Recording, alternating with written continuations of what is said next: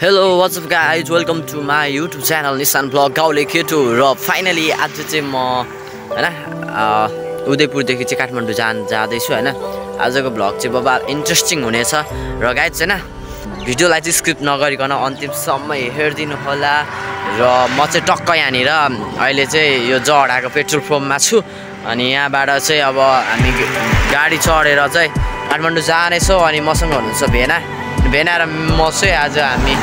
यहाँदेखिको यात्रा उदयपुरदेखि काठमाडौँसम्मको यात्रा छ। र बबाल आजको भिडियो इन्ट्रेस्टिङ हुनेछ होइन गाइज र बिहानीको मौसम छ कुल चिसो चिसो सुन्दर अनि त्यस्तैमा घाम पनि बबाल लागिरहेछ होइन? गाइज यस्तै छ र आजको भिडियो चाहिँ बबाल इन्ट्रेस्टिङ हुनेछ। स्किप नगरी हेर्नु होला र म सबै उदयपुरदेखि काठमाडौँसम्म पुग्नमा कुकुन ठाउँहरू र कुकुन कस्तो कस्तो सुन्दरताहरू छ म चाहिँ तपाईँहरूलाई देखाउनेछु। गाडी र फाइनली हामी जाने गाडी पनि आइसकेको छ र हामी जाने गाडी चाहिँ यही हो होइन?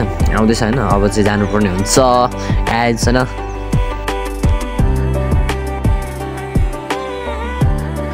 गाडी आइसक्यो गाडी तर गाडी चाहिँ पुरै प्याक एन्ड प्याक रहेछ होइन? अब हामी चाहिँ टक्क मैले देखिसकेँ होइन? गाडी चाहिँ पुरै प्याक भएर आएको रहेछ उतैबाट। अब यहाँनिर हामी चाहिँ ठाउँ नभएर अगाडि बस्नुपर्छ जस्तो लागिरहेको छ होइन? सायद अगाडि नै बस्नु पर्ने होला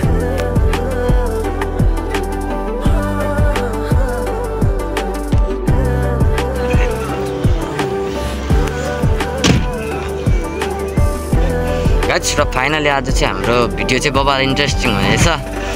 हामी टक्क उदयपुरबाट अब केटिएम होइन डाइरेक्टली अब त्यसबिचको यो सब यात्राहरू चाहिँ म तपाईँहरूलाई देखाउने छु र बबाल हुन्छ है।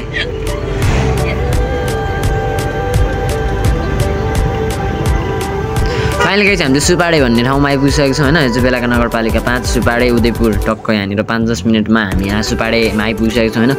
अब हाम्रो यात्रा सुरु भइसकेको छ आइज होइन। अहिले बिहानको त्यस्तै साढे सात हो त नबनाउँ होला। साढे छ हुन लागेको छैन गाई सब चाहिँ हाम्रो गोबाल अब यहाँ टक्क यो चाहिँ अब मलाई ठ्याक्कै ठाउँ चाहिँ थाहा भएन होइन? यो चाहिँ जङ्गलमा अनि टक्क यहाँनिर पुरै हामीलाई चाहिँ अब पिसाब फेर्नको लागि चाहिँ टक्क गाडी रोकिदिएको छ नि त्यही भएर यसो हावासावा खाइदिउँ भनेर बाहिर निक्लेको छौँ होइन? गाई छ फेरि अनि जानको लागि चाहिँ हामी रेडी हुँदैछौँ। गाई टक्क अहिले चाहिँ हामी चाहिँ यहाँनिर पुरै सिन्धुली पो आइपुगिसकेको छ अब बिच बिचको भिडियो उता अलिकति अब होइन बेलटार उता गाई गाई घाट उता कटारीतिरको भिडियो मैले खिच्नै पाइनँ क्या स्किप गरिदिएँ किनभने त्यता म त कस्तो खाली पेट आएको गरे मलाई गाह्रो हो नि त अनि त्यही भएर मैले मोबाइल सोबाइल थपक्क राखेर सुति पो दिएँ क्या। अनि त्यस पछाडि एकैचोटि म यहाँ सिन्धुलीमा आइपुगिसकेको छु। गाई होइन फाइनली अब चाहिँ हामी चाहिँ यहाँ टक्क सिन्धुलीमा आइपुगिसकेको छौँ। सिन्धुली बजार छिर्न लागिरहेको छौँ। र सिन्धुलीको देखिको चाहिँ अब भिडियो चाहिँ स्किप नगरिकन म लगातार तपाईँहरूलाई देखाउने छु। सिन्धुलीदेखि काठमाडौँसम्म पुगिन्जेलको भिडियो चाहिँ म सबै तपाईँहरूलाई देखाउने छु है त। र टक्क फाइनली अहिले चाहिँ हामी सिन्धुलीमा आइपुगेको छौँ भने गाइज अनि अब यहाँ चाहिँ हाम्रो गाडीको चाहिँ टायर फेर्ने भएको कारणले गर्दाखेरि हामी यहाँ बसिरहेको छौँ। अनि अब आज त्यो बिच बिचको भिडियो चाहिँ मैले स्किप गरेँ। त्यसको लागि अब किनभने म गाडीमा अलिकति गाह्रो भयो अनि त्यस कारणले अब चाहिँ हामी यहाँबाट जानेछौँ। र गाई चाहिँ टक्क हामी अगाडि चाहिँ हो अनि त्यहाँबाट टक्क हाम्रो यो टायर फेर्ने भएकोले अनि यहाँनिर अलिकति हामी यहाँनिर बसिरहेछौँ अब टक्क यो चाहिँ अहिले चाहिँ हामी ठ्याक्कै भन्नुपर्दा चाहिँ यो गणपति टायर सेन्टर प्राली सिन्धुली छ मा छौँ।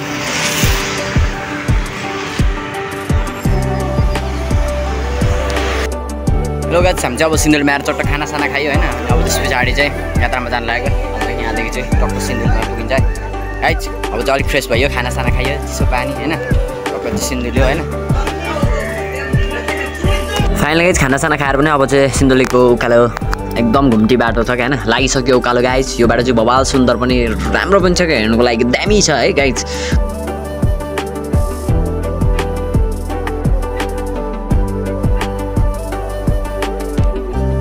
र गाई चल्ती ठ्याक्क हामी त्यो सिन्धुलीको मूलकोट भन्ने ठाउँमा आइपुग्छौँ र काठमाडौँ जाँदाको यात्राको चाहिँ सबैभन्दा राम्रो दृश्य भनेको चाहिँ मलाई यो लाग्छ क्या। एकदमै यो मूलकोटको बाटो अनि यहाँबाट यहाँ अगाडि चाहिँ अब यो सेती देवीको मन्दिर भन्छ होइन पुरै ऐनै ऐना राखेको छ। कम्तीमा दुई दुई किलोमिटर जतिको चाहिँ पुरै ऐनै ऐना राखेको छ क्या। दामी बबाल लाग्छ होइन गाई यो चाहिँ एकदम सुन्दर छ हेर्नको लागि लायक। अनि यहाँ अगाडि सेती देवीको मन्दिर छ होइन। अनि यहाँनिर अब यो ऐना राख्नुको मेन कारण भनेको चाहिँ यहाँ पहिला यसो देवी देवता छ भन्ने कुरा मान्छेको आस्था भएको कारणले अनि यहाँनिर पुरै बोइ पहिरो सहिरो बाटो बनाउँदा गएको कारणले अनि यो बाटोमा चाहिँ जसले गाडी कुदाए पनि एउटा ऐना चाहिँ यो सेतीदेवीलाई चढाउने भन्ने मान्यता रहेको छ। कम्तीमा पनि यो चाहिँ दुई किलोमिटरसम्म ऐनै ऐना दामी देखिन्छ क्या हेर्दा पनि होइन बबाल छ है गाई।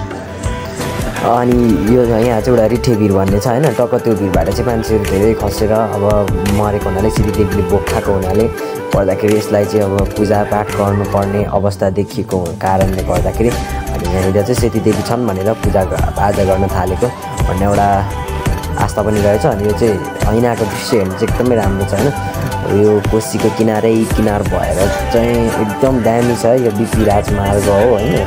एकदम दामी छ बाटो हेर्नु लाइक छ होइन चाहिँ दामी छ अघि चाहिँ पानी आउला आउला जस्तो भएको छ हल्का पानी पनि तर अहिले भने केही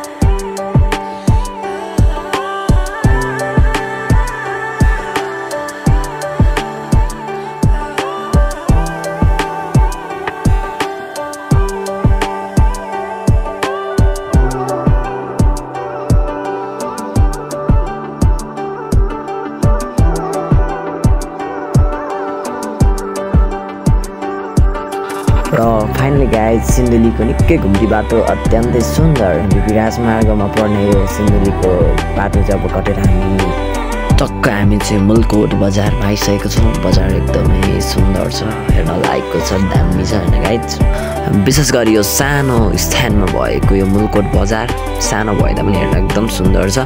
सुनकोसीको किनारमा रहेको सुनकोसीको सुसेलीको किनारमा रहेको यो मुलकोट बजार एकदमै दामी छ गाइज होइन?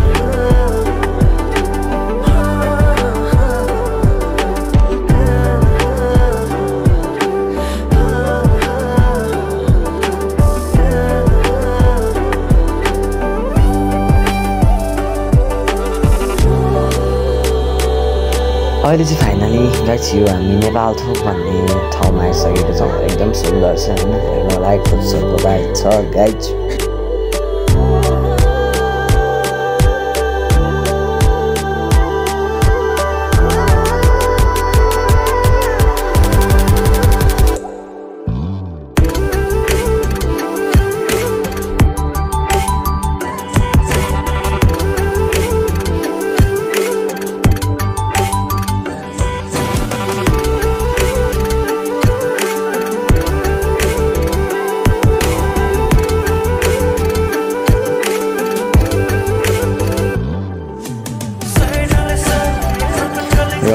गाइजहरू चाहिँ हामी यो मङ्गलटार भन्ने ठाउँमा आइसकेको छौँ।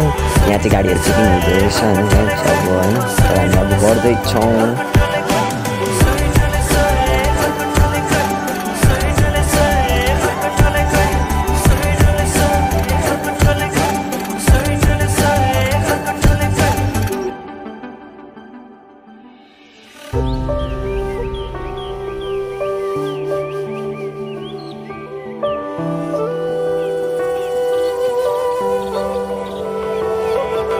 र फाइनल केही अब चाहिँ हामी धुलीखेल बजार प्रवेश गर्दैछौँ अनि धुलीखेल बजार चाहिँ यस्तो छ होइन दामी छ वा साइड साइडमा घरहरू बिचमा बाटो दामी छ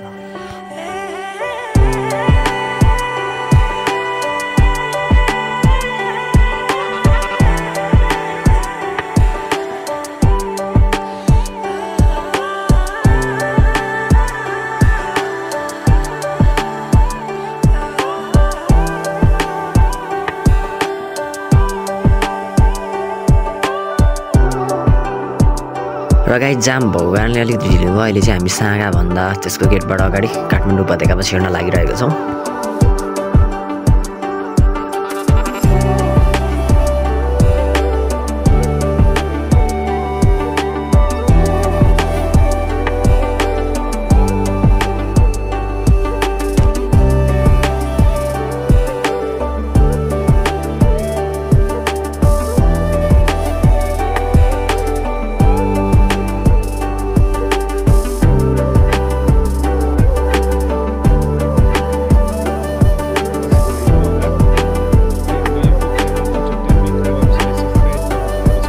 अनि म काठमाडौँ झरिसकेको छु। फाइनली गाइज तर गाडीले चढ्ने बित्तिकै पानी परेको कारणले मलाई गाह्रो भइरहेको छ र मलाई भाइ लिन आउँदैछ तर म रहरे रहरले भरिएको सहर हेर्दाखेरि जति बाहिरबाट सुन्दर देखे पनि तर यो भित्रको कथा व्यथा भने झन् गाह्रो रहेछ क्या। हेर्नुहोस् गाइज तपाईँहरूले छाता ओढेर उभिरहेको मान्छेहरू देखिराख्नु भएको छ होला।